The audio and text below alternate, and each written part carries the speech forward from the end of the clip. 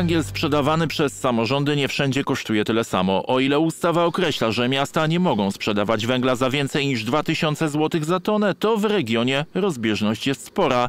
Z większych miast najtaniej, bo za 1600 zł węgiel sprzedaje Wodzisław Śląski. Wodzisław być może jest w specyficznej sytuacji. Dlaczego? Dlatego, że nasz KDW, czyli kwalifikowany dostawca węgla, ma siedzibę w Wodzisławiu i ma skład w Wodzisławiu. I my byliśmy po kilku spotkaniach i po kilku e, rozmowach z naszym KDW, które zresztą zostało wyznaczone przez PGG jako wodzisławski punkt odbioru tych, e, tego węgla, że po prostu on będzie mógł wydawać bezpośrednio mieszkańców, więc myśmy tylko doliczyli własne koszty funkcjonowania i rozdystrybuowania e, tego węgla. Drożej jest na przykład w Sosnowcu. Tam mieszkańcy za tonę węgla płacą 1800 zł, ale to i tak dość konkurencyjna oferta w stosunku do okolicznych miast. To jest cena e, minimalna, którą mogliśmy zaproponować naszym e, mieszkańcom. E, Mogło być e, drożej, e, bo tak naprawdę obsługa e, tego systemu e, kosztuje i e, była możliwość, abyśmy sobie doliczyli tę kwotę. Natomiast no, postanowiliśmy tutaj e, nie przerzucać tych kosztów na mieszkańców i ta cena 1800 zł jest jedną chyba z najbardziej atrakcyjnych cen w, tutaj w regionie. Drożej jest na przykład w Bytomiu 1900 zł czy Katowicach 2000 zł. 2000 zł zapłacą też mieszkańcy Tychów. To jest tak naprawdę cena, która została też e, ustalona e, w ustawie dotyczącej sprzedaży węgla przez samorządy. W niej pojawiają się dwie kwoty. Jedna dotycząca tego, za ile samorządy kupią od em, dystrybutora węgiel, a druga dotyczy tego, ile może wynosić maksymalna cena za e, tonę węgla. E, Stąd te 2000 zł. Dodam, że jest to cena za e, tonę węgla wraz z transportem. za który na przykład w Katowicach trzeba dopłacić. Na razie zainteresowanie kupnem węgla od gmin nie jest duże. Dla przykładu w Tychach do tej pory chęć zakupu wyraziły tylko 232 osoby.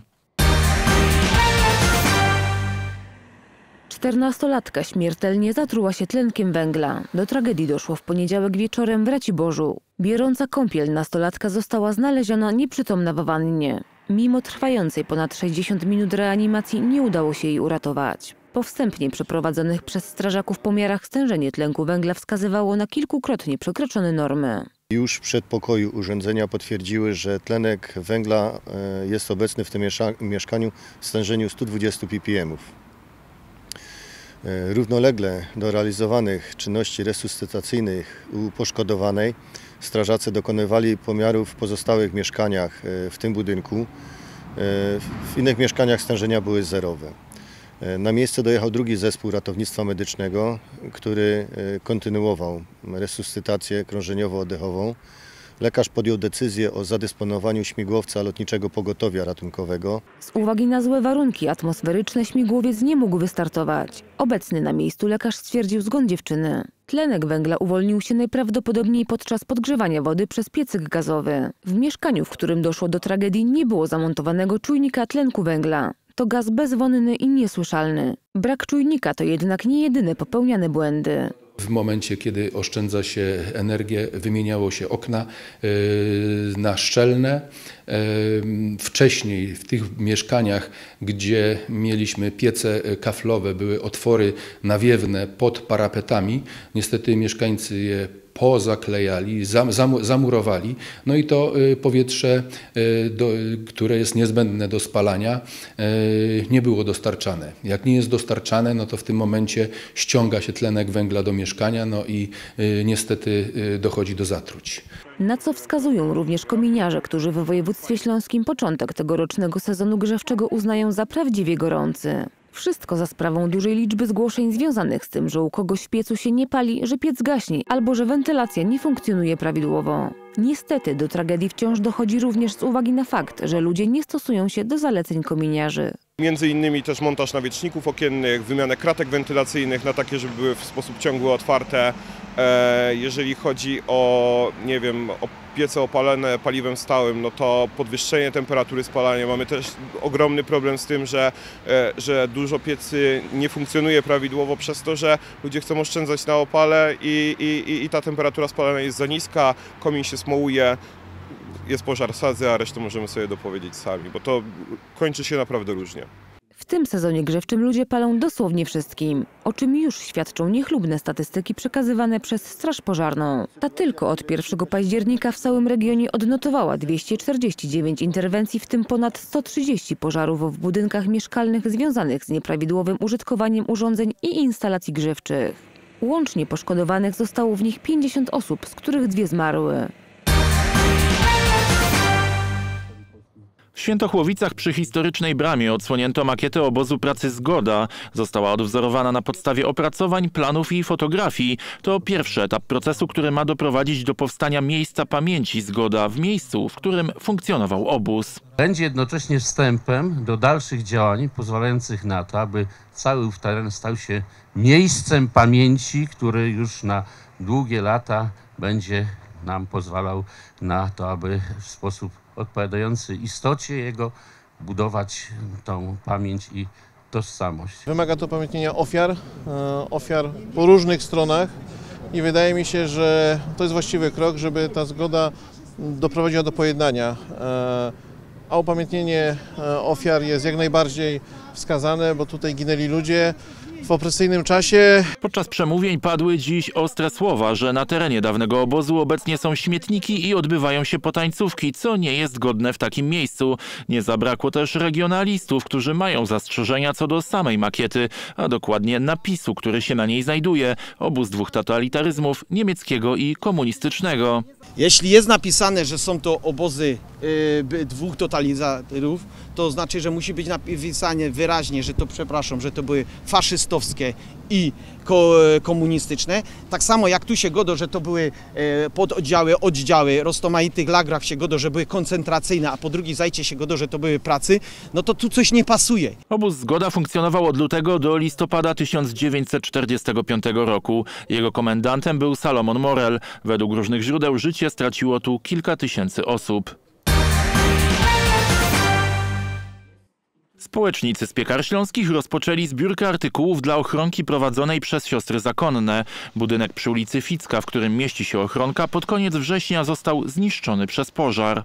Jedna trzecia powierzchni poddasza tego budynku e, była objęta pożarem. Z obydwu stron budynku wydobywały się już płomienie, od strony wschodniej jak i zachodniej, więc sytuacja była już dosyć, mocno e, rozwinięta. Ochronka była miejscem dla dzieci z trudnych rodzin i ludzi w potrzebie. Po pożarze budynku rozpoczęła się zbiórka na jego odbudowę, ale wyposażenie znajdujące się w środku przepadło bezpowrotnie. Przychodzą, otrzymują posiłek, e, jakieś potrzebne rzeczy, przybory szkolne, od, mogą odrobić lekcje, bawią się tutaj. Mamy do dyspozycji plac zabaw, boisko. To nie pierwszy raz, kiedy społeczna piekarska inicjatywa organizuje zbiórkę na rzecz ochronki. Jednak ze względu na szkody po pożarze sytuacja jest wyjątkowa. W tym roku jest e, szczególna potrzeba tego, żeby tych rzeczy było jak najwięcej. No, są to żywność, chemia, e, są to ubrania, tak, jakieś skarpety.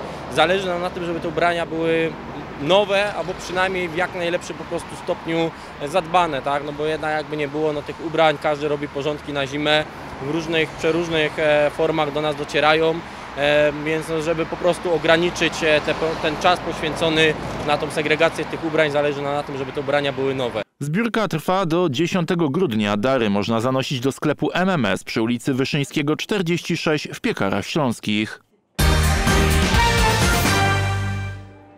W Gliwicach powstała podobno największa na świecie makieta kolejkowa z piernika. Chatki, ludziki, zwierzęta z piernika oraz przejeżdżające dookoła nich pociągi z czekolady to tylko część elementów tworzących wystawę.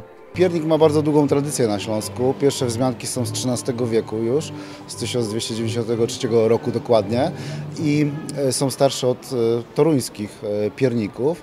I piernik był nie tylko po to, żeby go zjeść, ale też wcześniej, dużo przed, przed świętami zaczynała, zaczynał być taki klimat na wypiekanie pierników i wtedy e, dekorowanie tych pierników. Pierniki też były właśnie dekoracją. Stąd pomysł na stworzenie makiety z piernika. Do stworzenia makiety zużyto 1,5 tony masy piernikowej, 360 kg cukru pudru i prawie 40 kg czekolady. Prace nad piernikowym miastem zaczęły się pod koniec września. Wystawa to atrakcja skierowana głównie do najmłodszych, ale nie tylko. kolejkowo przyciągnie turystów, nie tylko tych najmłodszych, ale również i tych starszych. na, do naszego województwa, przede wszystkim do miasta Gliwice, ale do naszego regionu, który przecież e, wśród e, mieszkańców innych województw nasz region uchodził zawsze za nieciekawy, czarny, ciemny, a tutaj nie dość, że dużo zieleni, to jeszcze dużo zabawy. Poza elementami wykonanymi z piernika na wystawie znalazły się też postacie z bajek zrobione z masy cukrowej. Ten pomysł narodził się po długich rozmowach z organizatorami, gdzie szukaliśmy właśnie pomysłu na jakąś e, ciekawą figurkę i tutaj e, pokazałam zdjęcia moich prac konkursowych, e, były to Mistrzostwa Polski, czy tutaj prace do mojej książki o sugarcraftingu i tak e, zdecydowaliśmy, że Czerwone Kapturki ogólnie właśnie braci Grimm fajnie podkreślą e, charakter tej wystawy. Wystawa z piernika będzie stać w Kolejkowie w Centrum Handlowym Europa Centralna do końca lutego przyszłego roku.